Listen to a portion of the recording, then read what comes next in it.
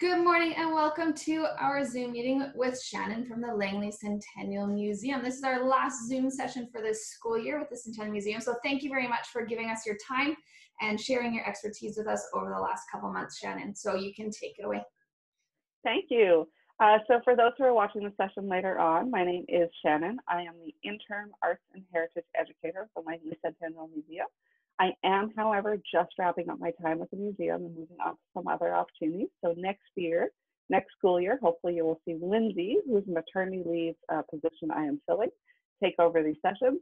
The Langley Centennial Museum has a huge, huge range of school programs, and we cover arts and science and history, and there's so much to see and learn at the museum. So hopefully we will continue sharing that with you in the fall.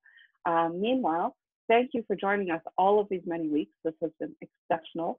I've grown very fond of these sessions and our regular kids who log in and their families and all of you who are watching this later.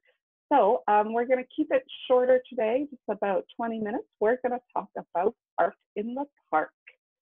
So uh, for those who are with us today, if I say the words art in the park, take a second. And those who are watching this later on too, and just think about what does that mean? Maybe that there's art in a park? But do you think okay so let me rephrase. If i said go make us some art in the park i mean that could be anything right? Mm-hmm. but what what would be the first thing that comes to mind for you? What would be the thing that you would want to do? Probably like draw a tree or something that's from the park yeah that's a great idea so a lot of times we go around, and I know in Burnaby and a lot of other municipalities, they, they do, they advertise art in the park. But what that usually is, is people literally doing visual art in a park. So they're drawing, they're painting, they're sculpting, sculpting, they're using nature to influence their, their sketches. Um, but what we're going to talk about today is a little bit different. So at the Langley Centennial Museum, we have a program called Art in the Park, but it's about environmental art. So not just using nature to inspire your drawing or your painting, but using nature itself to create art. So using natural objects only. So we're going to start out, we're going to watch just a quick 10 minute video um, this video was done by Helen, uh, our most senior art instructor at the Langley Centennial Museum. So if you're going out into the park, we're not just talking about taking your sketch pad and doing the drawing of a painting, but we're talking about using art to create, sorry, using nature to create natural art. So Helen is our most uh, senior art instructor. Um, she's been with us a long time. She teaches all of our art, um, in addition to other instructors but she teaches all of our programs at the Langley Centennial Museum. And uh, we were so lucky that she got to make a little video for us showing what environmental art means. So we're going to watch this 10 minute video. We're going to talk about some other environmental artists, and then we're going to see how we can make environmental art ourselves.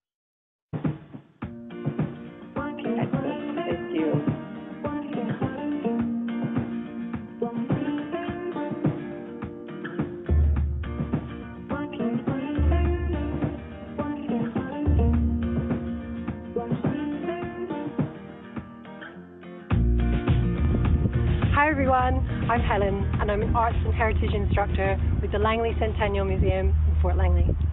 I'm so thankful to be out in the fresh air and sunshine of Derby Reach Regional Park today.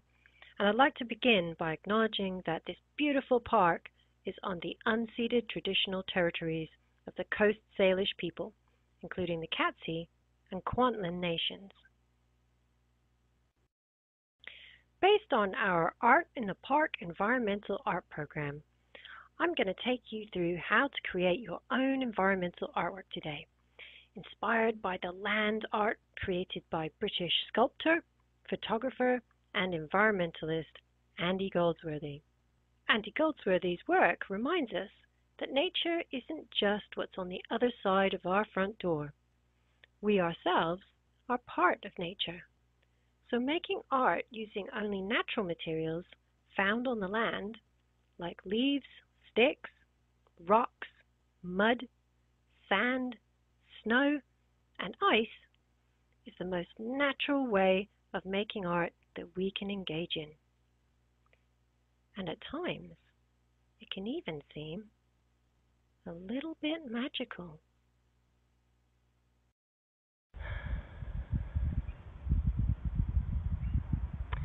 First thing we need to do is go for a nature walk. You can create land art in any environment and in any weather conditions. Remember, Andy Goldsworthy also used snow and ice in his land art. If you're in a regional or national park, it's best to stay on the paths and pick up materials on the forest edge. Try to collect as many different textures, shapes, and colors of materials that you can find already lying on the forest floor. Just remember, be careful not to touch poisonous or stinging plants. If you're not sure, ask the adult you're with or a park ranger. As you're walking along, make sure to take some time to stop and look around you. Allow yourself to be inspired by the environment you're in. You might also find the area where you want to create your land art. Once you've found that area, put everything you've collected onto the ground. Then just sit for a while to look more closely at the colors, shapes, and forms in front of you. Play with the materials. See what colors and shapes work well together. What materials bend, what materials break, what balances, or what can naturally be stuck together. Most importantly, just have some fun with it.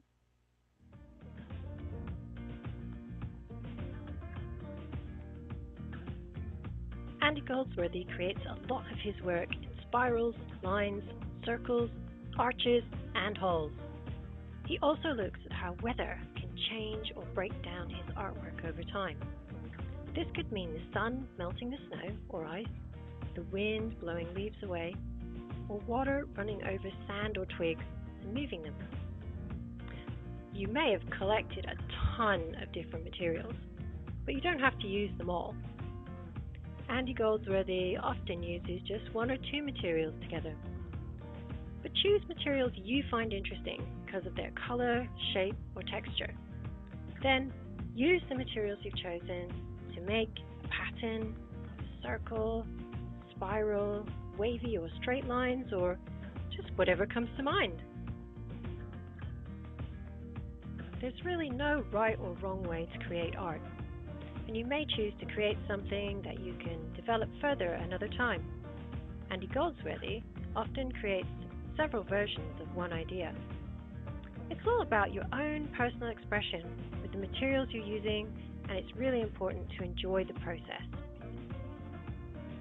I like to create artwork that tells a story, and what I'm creating today starts with an old rotting stump and many very bendy sticks.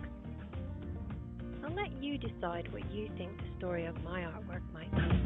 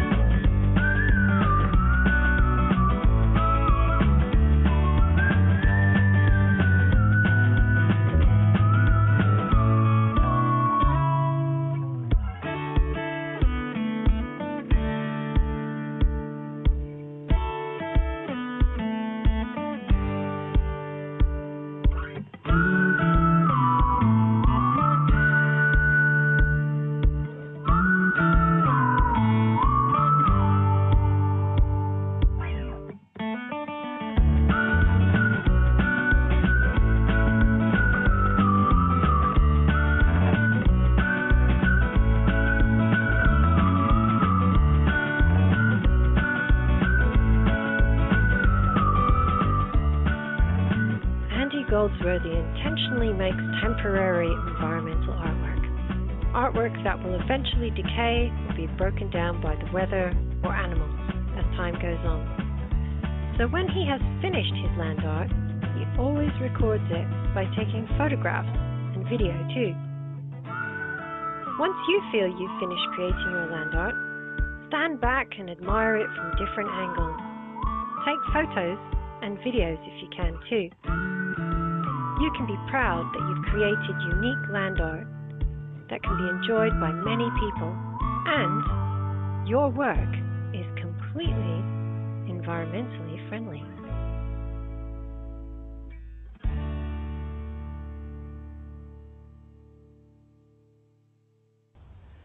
I hope I've inspired you to create your own land art. Thank you for watching and please remember to check out um, the other videos that we've created for Langley Centennial Museum. Have fun and stay safe. Bye.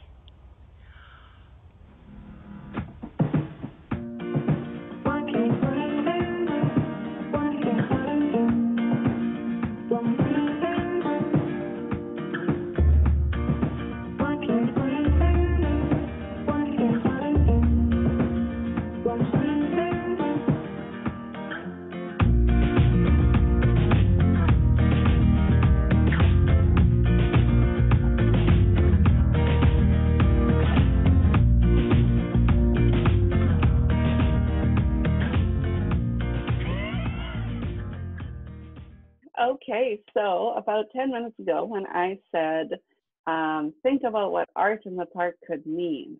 And then Lacey's like, well, obviously, we're just going to do art in the park, which of course, we should always try to get inspired by nature. We should always try to get outside.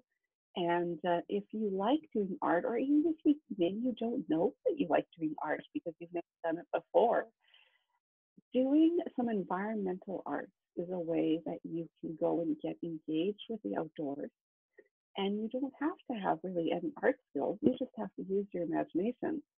So after watching this video, if you maybe have a different perspective or a different thought about art in the park, um, put up your hand and let me know. Lucy, go I ahead. Thought, I thought that it would be like drawing stuff in in the park.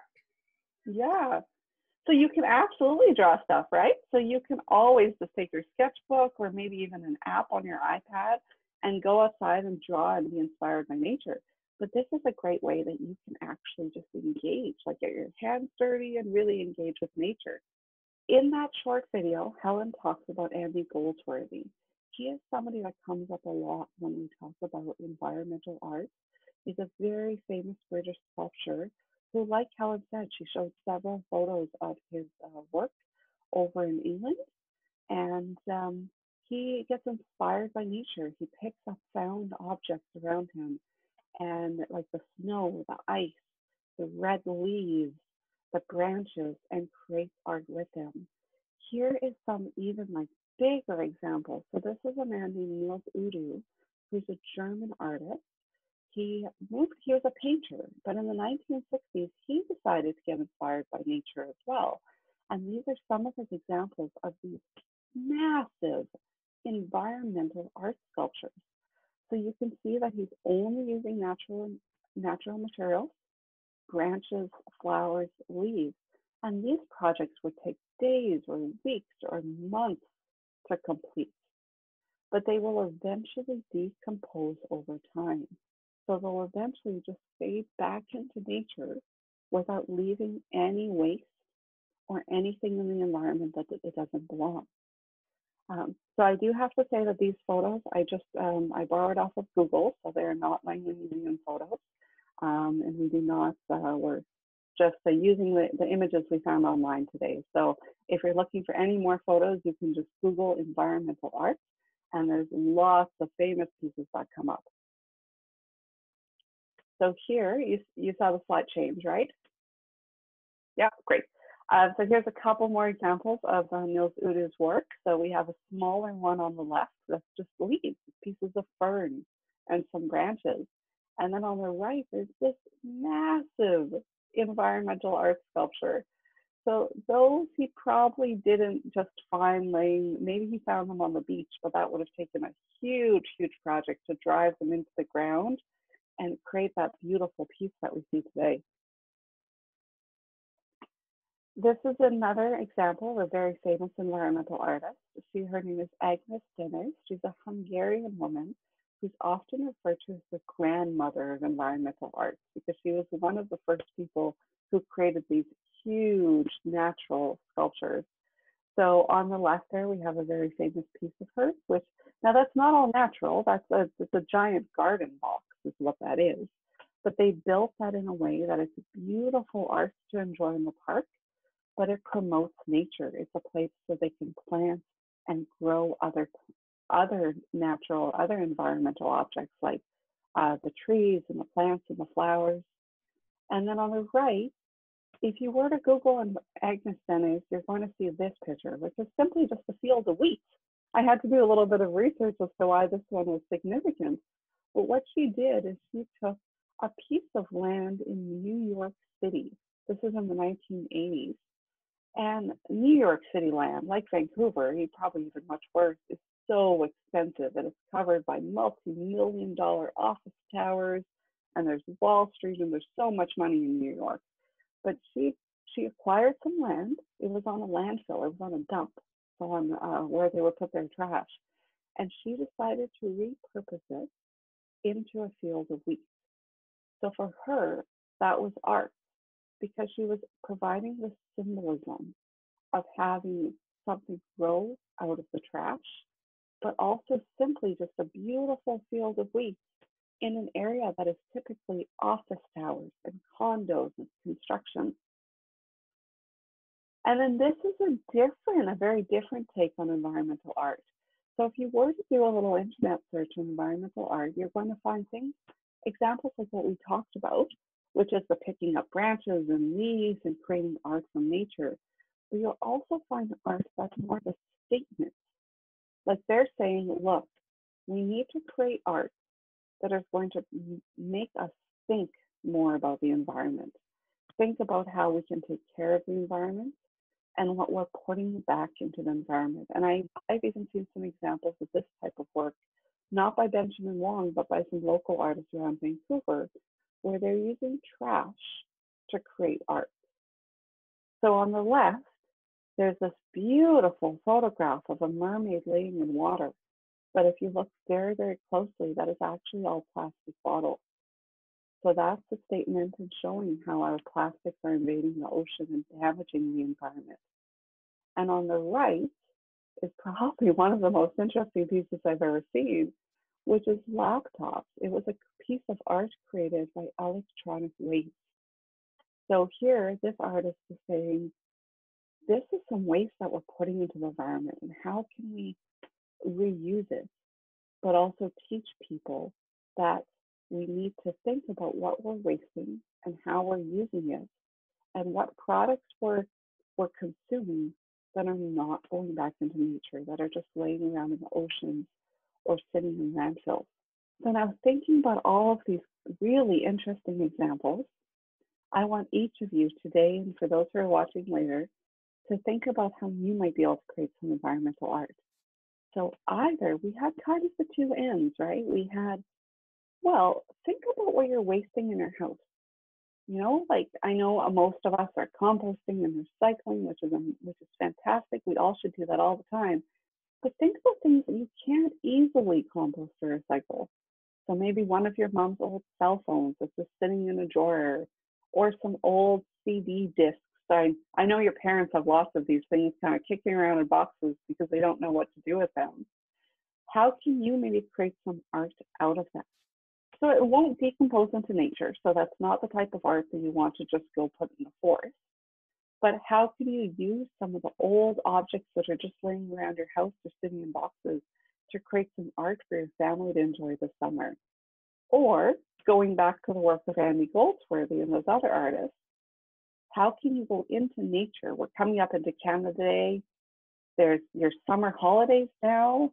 I know things are very different because we don't, you know, most of us aren't going to day camps or summer programs.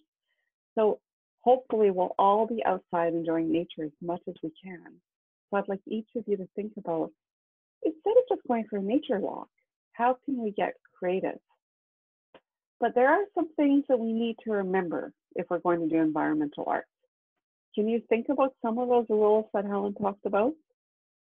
Put your hand up if you can think about one of the things that Helen said, well, we should make sure we do this. Go ahead, Lacey.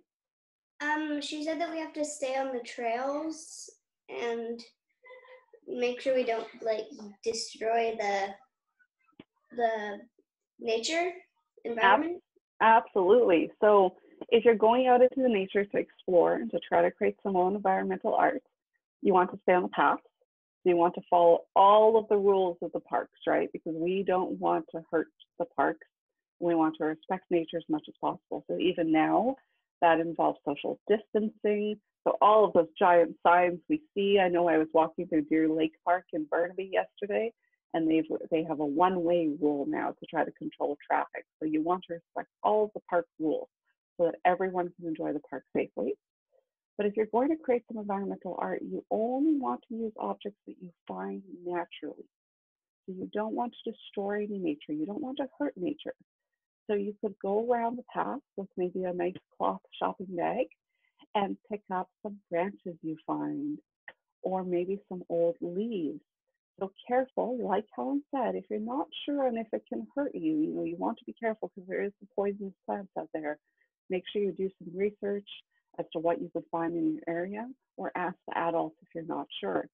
But you can pick up any anything that's fallen off of a tree or blown up from the ocean some seashells perhaps, but you're going to handle it very carefully and very respectfully because we don't want to destroy habitats, right? Sometimes seashells might have a crab living in there. But then you're going to use those objects that you found to create some piece of art that you can get creative. And you don't need any art skills for this. You just need to pick up some objects and think about, hmm, do these bend? Are they stiff? Do they maybe blow in the breeze? Can I click them together in a way like Helen did in her piece.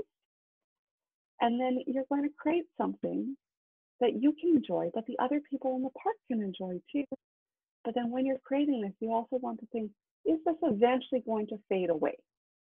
So if you're having a hard time assembling it, don't go get some glue or pull out some strings because you want to keep it natural. So use the limitations that those objects offer you to create something that's eventually just going to fade back into the environment over time. So, and then one way that you can make it last forever is you can photograph it like Helen did. You can share it with your family, you can share it with your friends, and hopefully you can inspire everybody else to go do some environmental art too. And of course, if you're not sure and you know about what you can touch in the park and what you can't, just go in your backyard when you're visiting a friend, you know, maybe you're playing tag in the backyard, but then think, hey, there's a bunch of sticks laying around here. Maybe we can make something out of the rocks and sticks. So I think that's a great way that we can engage with nature, but also get creative. Isla, do you have your hand up there? Yeah. Go ahead, Isla. Um, remember you wanted to talk to my bot? My bot would love to. Yeah? Yeah, about my grandma about great grandma. Yes, I know we talked about your great grandma a few weeks ago about the schoolhouse, and it's so glad to see you back too. You've got so much amazing family I history in Isla. Yeah. So it's so awesome that you guys have all of this great history to share with us. Yeah, perfect. Okay, my friends, we do have to wrap it up because it is 10 o'clock, but I also have to run off to another meeting. I have to go drive to Fort Langley now, actually. So Thank you so much for joining us over these past few weeks.